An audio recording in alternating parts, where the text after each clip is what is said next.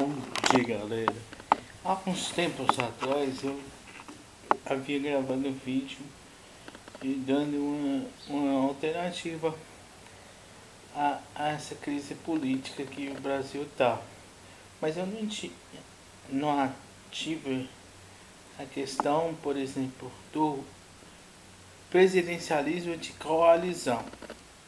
Isso se dá porque o Brasil a Constituição brasileira foi pensada para o parlamentarismo e não para o presidencialismo. É, teve a eleição que o, o povo escolher rei, monarquia parlamentarista, presidencialismo parlamentarista ou presidencialismo, né?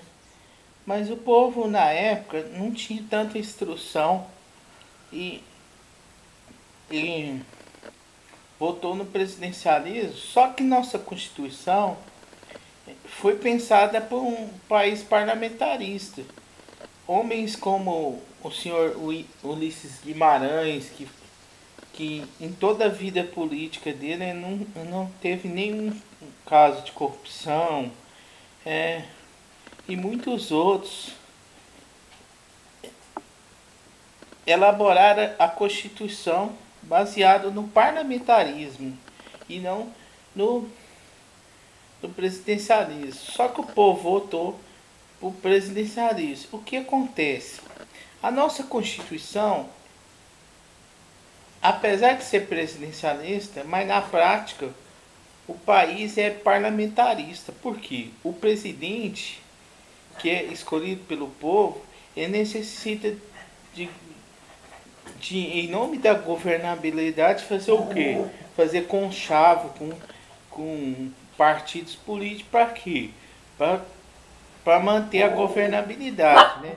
Aí surgem os mensalões da vida, essas coisas elementares que dificultam a, o nosso país. Né?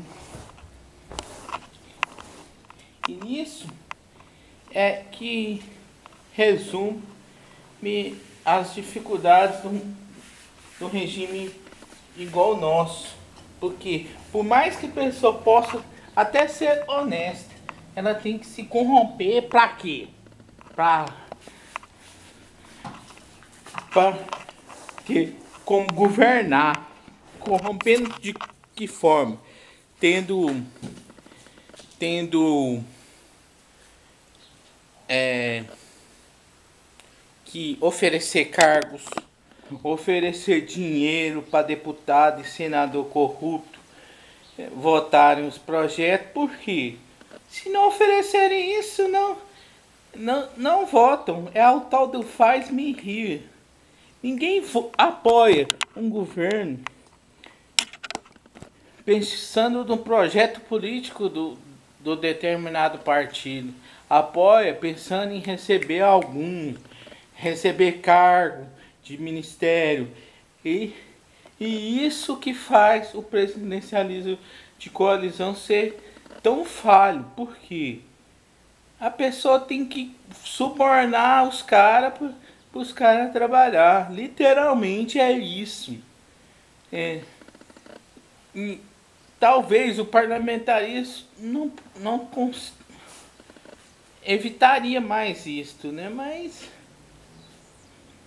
esse parlamentarismo às escuras do Brasil é que faz do país um, um, um ter um sistema político corrupto e corrompido desde sua origem.